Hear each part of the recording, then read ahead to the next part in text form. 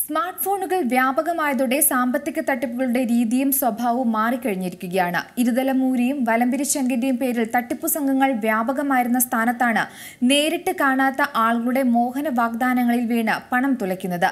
Covid കാലത്ത് സാമ്പത്തികമായി പ്രതിസന്ധി നേരിട്ട നിരവധി മലയാളികൾ ഓൺലൈൻ വഴിയുള്ള തട്ടിപ്പുകൾക്ക് ഇരകളായിട്ടുണ്ട്. കോവിഡ് ലോക്ഡൌൺ മൂലമുണ്ടായ പ്രതിസന്ധിയിൽ നിന്ന് കരകയറാൻ സാധിക്കാതെ വന്ന നിരവധി പേരാണ് സാമൂഹിക മാധ്യമങ്ങൾ വഴി കണ്ട ലിങ്കുകളിൽ കൂടി തട്ടിപ്പുകൾക്ക് ഇരകളായിട്ടുള്ളത്. ഇതിലധികവും ലോൺ ആപ്പുകൾ പാർട്ട് ടൈം ജോലി തുടങ്ങിയവയിലൂടെയാണ്. വേർഡ് ഫയലുകളോ ഇമേജുകളോ പി ഡി എഫ് ഫോർമാറ്റിലേക്കോ മാറ്റി നൽകുക അല്ലെങ്കിൽ ഇമേജ് ഫയലുകൾ വേർഡ് ഫയലാക്കി മാറ്റി നൽകുക തുടങ്ങിയവയുടെ രൂപത്തിലാണ് പാർട്ട് ടൈം തട്ടിപ്പുകൾ കളം പിടിക്കുന്നത്. സാമ്പത്തിക പ്രയാസങ്ങൾ അനുഭവിക്കുന്നവരോ നിലവിൽ വരുമാനം ജീവിത ചെലവുകൾക്ക് തികയാതെ വരുന്നവരും ഉൾപ്പെടെയുള്ളവർ ഇത്തരം തട്ടിപ്പുകൾക്ക് വീഴുന്നു. ജോലി പൂർത്തിയാക്കി കഴിഞ്ഞ് പണം ആവശ്യപ്പെടുമ്പോഴാണ് തട്ടിപ്പിന്റെ അടുത്ത ഘട്ടം. ബാങ്ക് അക്കൗണ്ടിലേക്ക് പണം അയക്കണമെന്നുണ്ടെങ്കിൽ പ്രോസസ്സിംഗ് ചാർജ് എന്ന പേരിൽ ആയിരം രൂപ മുതൽ രണ്ടായിരം രൂപ വരെ പണം യു വഴി അയക്കാനാണ് ആവശ്യപ്പെടുന്നത്. ഇങ്ങനെ ചെയ്തു കഴിഞ്ഞാൽ പിന്നീട് മറ്റു പ്രതികരണങ്ങൾ ഒന്നും തന്നെ ഉണ്ടാകില്ല.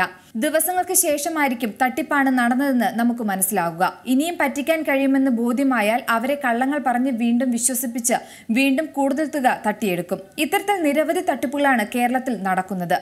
അതിന്റെ അടിസ്ഥാനത്തിൽ സംസ്ഥാനത്ത് ഓൺലൈൻ ലോൺ തട്ടിപ്പുകൾ പെരുകുന്നുവെന്ന് സൈബർ സെൽ വ്യക്തമാക്കി. ഈ വർഷം ഇതുവരെ ആയിരത്തി നാനൂറ്റി നാൽപ്പത് പരാതികളാണ് ലഭിച്ചത്. തട്ടിപ്പിനിരയാകുന്നവരിൽ ഭൂരിഭാഗവും സ്ത്രീകളാണെന്നും സൈബർ സെൽ വ്യക്തമാക്കുന്നുണ്ട്.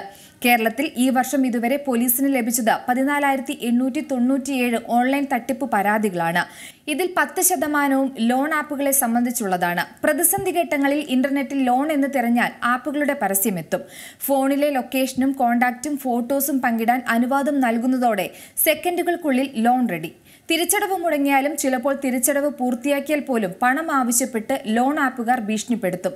പണം നൽകിയില്ലെങ്കിൽ അശ്ലീല ചിത്രങ്ങളിൽ മുഖം മോർഫ് ചെയ്ത സുഹൃത്തുക്കൾക്ക് അയച്ചു കൊടുക്കും ഈ ചതിയിൽ പെടുന്നവരിൽ അധികവും സ്ത്രീകളാണ്. അതേസമയം സഹകരണ ബാങ്കുകളും തൊഴിലാളി സംഘങ്ങളും സജീവമായതിനാൽ ഇതര സംസ്ഥാനങ്ങളെ അപേക്ഷിച്ച് കേരളത്തിൽ ഓൺലൈൻ ലോൺ തട്ടിപ്പ് വളരെ കുറവാണെന്നും സൈബർ സെല്ല് വ്യക്തമാക്കുന്നുണ്ട്. അത്യാവശ്യത്തിന് പണം ഒപ്പിക്കാൻ എടുക്കുന്ന ഓൺലൈൻ ലോണുകൾ ജീവൻ തന്നെ കവർന്നെടുക്കുന്നതെന്നാണ് നിലവിലെ കാഴ്ച. ഇത്തരം ഇടപാടുകളിൽ അതീവ ശ്രദ്ധ വേണം. ഒപ്പം നിയമ നടപടികൾ ശക്തമാക്കുക കൂടിയാണ് തട്ടിപ്പുകൾ നിയന്ത്രിക്കാനുള്ള പോംവഴി. പുതിയ വാർത്തകളും വിശേഷങ്ങളും ഇനി വിരൽ തുമ്പിൽ എല്ലാ ഡിജിറ്റൽ പ്ലാറ്റ്ഫോമുകളിലും ഇപ്പോൾ സി മലയാളം ന്യൂസ് ലഭ്യം.